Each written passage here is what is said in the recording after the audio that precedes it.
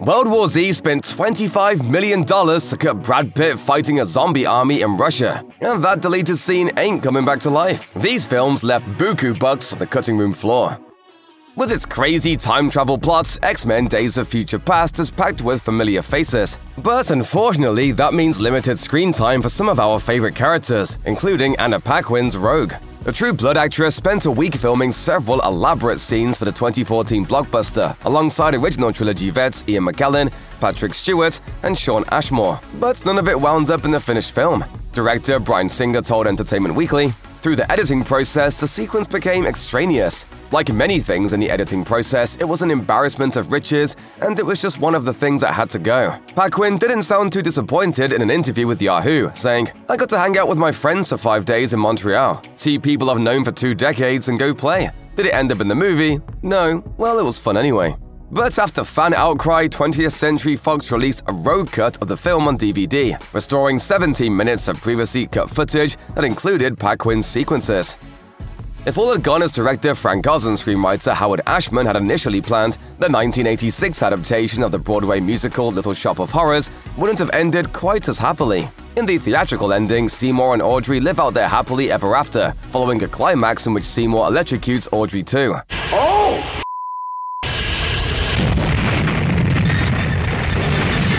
However, the filmmakers intended to use the ending from the stage version of Little Shop of Horrors, with Audrey 2 eating Audrey and Seymour and terrorizing the world. But test audiences hated it. Oz recalled to Entertainment Weekly, for every musical number, there was applause. They loved it. It was just fantastic. Until we killed our two leads, and then the theater became a refrigerator, an icebox. The elaborate 23-minute sequence, which cost a reported $5 million, was scrapped and a new ending was shot with the two leads alive and well. Though a black and white version of the original ending was included on a 1998 DVD release, full-color footage was finally included in a director's cut edition Blu-ray in 2012.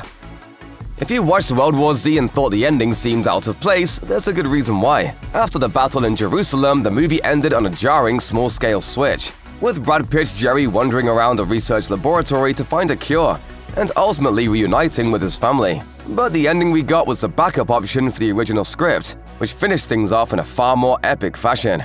In the original ending, Jerry and his sidekick Segun made it to Russia and joined the anti-zombie army. The story then skipped ahead to the winter, showing Jerry leading the Russian army into massive zombie battles. He contacted his wife Karen, who'd left him and was in a relationship with one of the soldiers we saw at the beginning of the film, supposedly the soldier played by Matthew Fox. Not about to lose his family, Jerry embarked on a quest across Siberia, trying to reach the Pacific Ocean and find a way to his wife's camp in America. It's a downer ending that would have set up a whole trilogy of World War Z films. But this wasn't just a script idea. Most of the third act was actually filmed, but at the last minute, Paramount decided to go with a lighter, more hopeful ending. The reshoots ended up costing $25 million. That's a huge amount of money especially since none of the original third act was used in the final cut. Frankly, the original version sounds awesome. We never knew we needed a bearded Brad Pitt leading the Russians into epic zombie battles until now.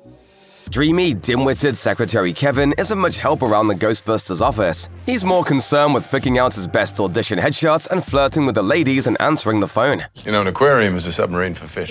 But when he's possessed by Rowan during the film's climax, he uses his new powers to make hordes of army personnel and police officers do whatever he wants. If you think it feels like the perfect segue into a dance number, you'd be right. Director Paul Feig spent two days and somewhere in the vicinity of seven figures shooting an entire dance number, with Hemsworth and extras to the Bee Gees you should be dancing. But it was ultimately cut. Feig told Vulture, it was stopping the flow for the audience, because even though they really loved it, they were having trouble coming back out of it. It was making the rhythm a little too goofy in a weird way. Rather than completely scrap the footage, Feig re-edited it and used it during the film's credits, so audiences would still get to see Hemsworth busting a move. The sequence was also restored for the extended cut on Blu-ray.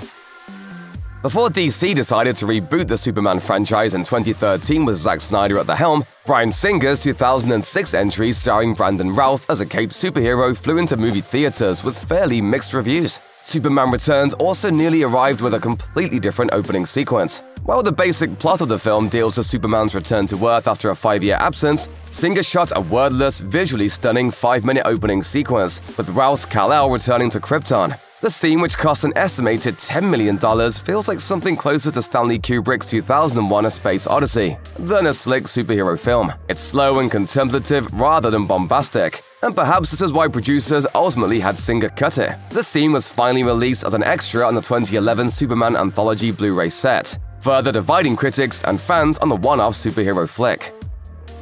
At the end of Doctor Strangelove, or How I Learned to Stop Worrying and Love the Bomb, the US dispatches a group of B 52s to drop H bombs on the Soviet Union, but winds up abandoning the plan at the last minute. Unfortunately, one plane manages to drop its bombs, which triggers a nuclear chain reaction to the elegant strains of We'll Meet Again. However, director Stanley Kubrick envisioned a much different and messier ending to his 1964 satirical masterpiece. In an effort to show the complete absurdity of war, Kubrick filmed a giant pie fight between his principal cast and the war room in just one take, due to the mess and the expense of shooting. The scene kicks off with a pie hitting the president in the face, which, according to BFI, leads to the line, Our beloved president has been infamously struck down by a pie in the prime of his life. However, the film's test screening happened on the day of John F. Kennedy's assassination, and suddenly the whole sequence felt problematic. Kubrick and the studio agreed that the pie fight didn't match the rest of the film's tone, and cut the scene for creative and political reasons. Gentlemen, you can't fight in here, this is the war room! Though it's unknown if the actual footage still exists, still photos of the scene are included in the DVD extras. The 1940s set mob movie Gangster Squad starring Sean Penn, Ryan Gosling, Josh Brolin, and Emma Stone once featured a key scene set at Grauman's in Los Angeles. The sequence saw a pack of gangsters open fire on the audience, causing the theater to erupt in mayhem. The film was set to be released in early September of 2012, but tragedy struck. That July in Aurora, Colorado, a gunman opened fire on a theater full of moviegoers at a midnight screening of The Dark Knight Rises. Warner Brothers, the studio behind both The Dark Knight Rises and Gangster Squad, immediately pulled the latter's trailer from theaters and pushed back its release date in order to allow for extensive rewrites and reshoots. Released in early 2013, Gangster Squad featured an all-new ending, and director Ruben Fleischer had no problem with it, telling IndieWire during a press conference, We felt it necessary to reshoot that sequence, and I'm proud of the fact that we did. I think that we didn't compromise the film or our intent, and I think the newly shot Chinatown sequence is really well done, and that we should all respect the tragedy and not draw associations to our film. As most Back to the Future fans know, Eric Stoltz was originally cast as Marty McFly, the puffy vest-wearing teenager sent back to 1955 in a souped-up DeLorean. Director Robert Zemeckis initially wanted to hire Michael J. Fox, but his family ties shooting schedule was too demanding at the time and hired Stoltz instead. Five weeks into filming, Zemeckis and Steven Spielberg knew they needed to replace Stoltz. In an excerpt from a book on the making of the film called We Don't Need Roads, the making of the Back to the Future trilogy, co-star Lea Thompson remarked, Eric had such an intensity, he saw drama in things. He wasn't really a comedian, and they needed a comedian. He's super funny in real life, but he didn't approach his work like that, and they really needed somebody who had those chops. Zemeckis and Spielberg quickly negotiated with Universal to replace Stoltz with Fox, adding a reported $3 million to the film's budget and extra time onto its shooting schedule. Soon, Fox was on set at the Twin Pines Mall shooting with Christopher Lloyd, and the rest is history. When reporters are interviewing the gang at the end of The Goonies, Data says something kind of surprising for them and the audience. The octopus was very scary. Yeah, it was very dangerous. It turns out the gang really did have a close encounter of the eight-armed kind. In the original version of the 1985 cult classic, the Goonies careen down watery chutes and land in a lagoon, only to be attacked by a rubbery giant octopus. Just when you thought that wasn't ridiculous enough, Data stuffs his Walkman cassette player into its mouth, while blasting a pop track written for the film entitled Eight Arms to Hold You, and the octopus swims away. A lot of work went into the scene, which was fully edited and scored for inclusion in the film. Most likely, the fabled scene was cut for time, or deemed unnecessary and cheesy looking. When the Disney Channel acquired the TV rights to the film in the 90s, the network added the scene back in to make up for lost airtime, after deleting scenes deemed inappropriate for young children. While the scene is only included in the DVD extras, Data's non sequitur revelation still remains in the final cut of the film.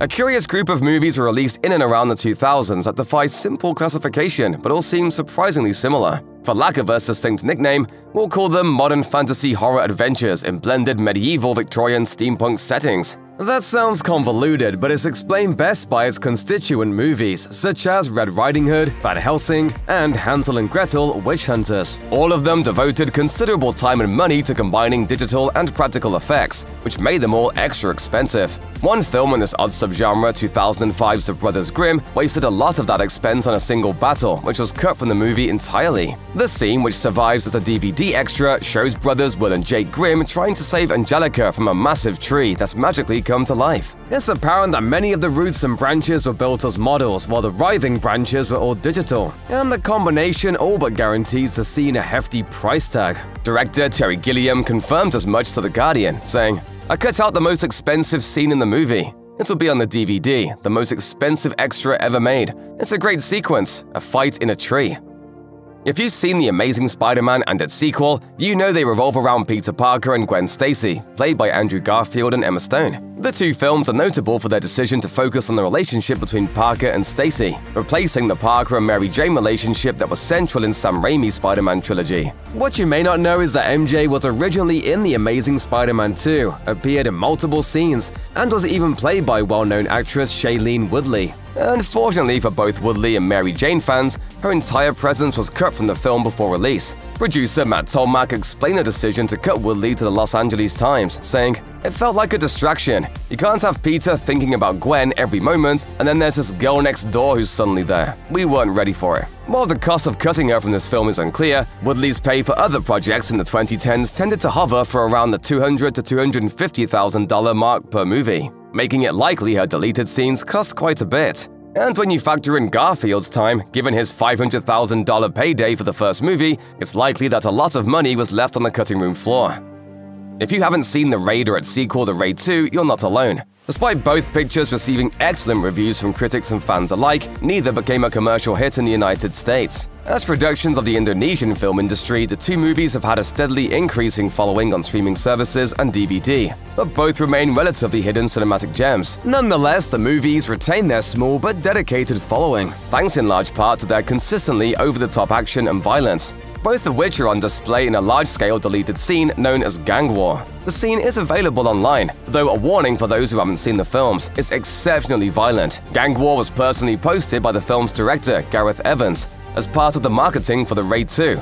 And under the post, Evans gave his own colorful approximation of the sequence's cast. He wrote, This was probably the hardest for me to cut, due to the fact that the production on this scene lasted around six days of shooting, and it cost us a load to make. As hard as it is to pin an exact amount to gang war, Evan's description gives us a pretty good idea that it certainly wasn't cheap. Movies cost an arm and a leg to make. That's why production companies sometimes go looking for funds in the weirdest of places. Which is where product placement comes in. Sometimes producers are desperate enough for that sweet, sweet product placement money that their film ends up becoming essentially one giant ad. Happily, Die Hard 2 avoided that fate. Tragically, it only did so because it ended up deleting its product placement, prompting a very costly lawsuit. In exchange for $20,000 from Black & Decker, Die Hard 2 producers agreed to feature a scene in which hero John McClane used one of the company's signature Univolt power drills.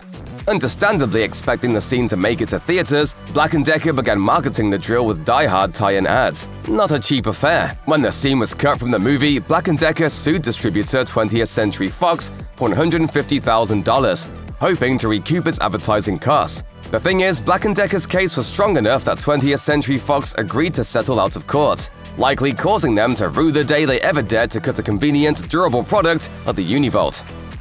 When Disney began developing Star Wars The Force Awakens, they knew that they had to get it right, which is why they threw tons of cash at it. According to filings obtained by Forbes, The Force Awakens was made with the largest budget of all time at over $533 million, with a budget like that, every single minute of deleted film was, by extension, ridiculously expensive. You might not know about its deleted scenes, as the Star Wars franchise doesn't tend to publicize its cut content in the way that other franchises do, but they are plentiful. Big budget actors like Harrison Ford and Adam Driver have minutes of their work cut. Entire practical effects sets complete with costumes and props are cut, and even scenes with finished digital effects are cut, like those featuring CG alien Maz Kanata. Oh my, this is a catastrophe.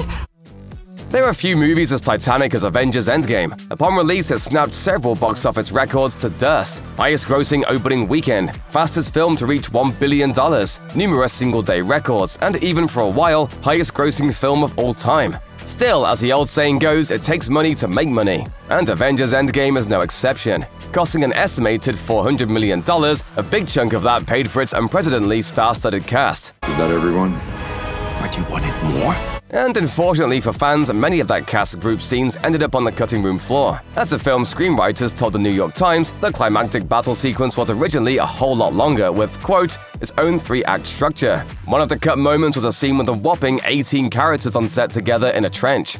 In fact, well over 10 minutes of filmed footage was cut, much of which featured the franchise's signature cast members. With the knowledge that Robert Downey Jr. earned $20 million up front for his role, Chris Evans, Chris Hemsworth, and Scarlett Johansson made $15 million each, and dozens of other big stars were getting millions for their time, we can safely conclude that every minute of the Avengers Endgame deleted scenes came with a hefty price tag. The Wicked Witch uses a lot of different tactics to try to stop Dorothy and her friends in The Wizard of Oz, but one never made it into the final version of the film. In the last Jitterbug sequence, Dorothy, the Scarecrow, Tin Man, and Cowardly Lion travel through the haunted woods, only to be attacked by evil bugs that cause them to break out in song and dance. I've set a little insect on ahead to take the fight out of them. Also a popular dance style at the time, the Jitterbug was actually a remnant of an older version of the script that was tossed out. The whole number cost about $80,000 and took five weeks to shoot, but it was excised when producers deemed the film too long. Though the actual footage was apparently destroyed, composer Harold Arlen captured a dress rehearsal of the number on home video, later included as an extra on the DVD version of the film.